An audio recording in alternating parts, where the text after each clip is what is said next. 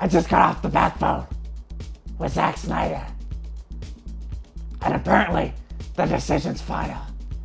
And Ben Affleck is gonna be playing me, Batman, in the next Superman versus Batman movie. And then I have to live with that decision. So, Ben, if you're gonna play me, Batman, you better do it right. So, I have some pointers for you. Firstly, you have to gargle water every night and put salt in it. Because this voice is hard to do. I also like to practice saying phrases that I'd use, like, I'm Batman. I say that at least 75 times a day, just to keep my vocal cords fresh. It's also a good idea keep kryptonite on hand. Because super rapist, I mean, Superman, likes to get rapey every now and again.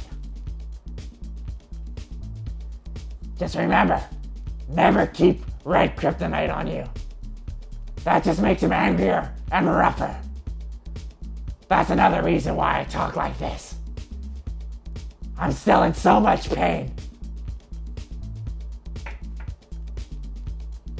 Getting a divorce is also a good idea because there's a lot of sexy women in the Batman universe.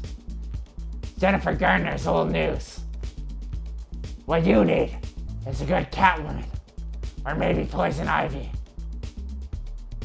There's also Harley Quinn, who's quite nasty.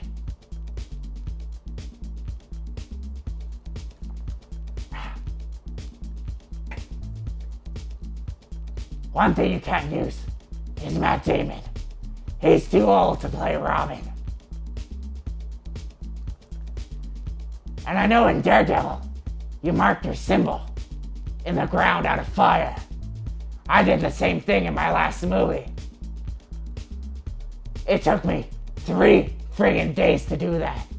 I suggest scrapping it. Do you know how many Gotham citizens died while I was preparing that fancy trick? I don't know the exact number, but I'm guessing it was a shitload.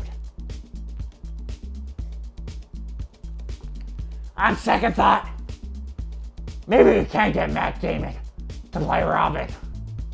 We're just gonna need an awful lot of lube and about this much spandex and a little bit of elbow grease. We have to wedge him in there nice and good. So this is me, Batman, endorsing you, Ben Affleck, to play me, Batman, in Superman versus Batman. Because frankly, I don't have another choice. I'm Batman.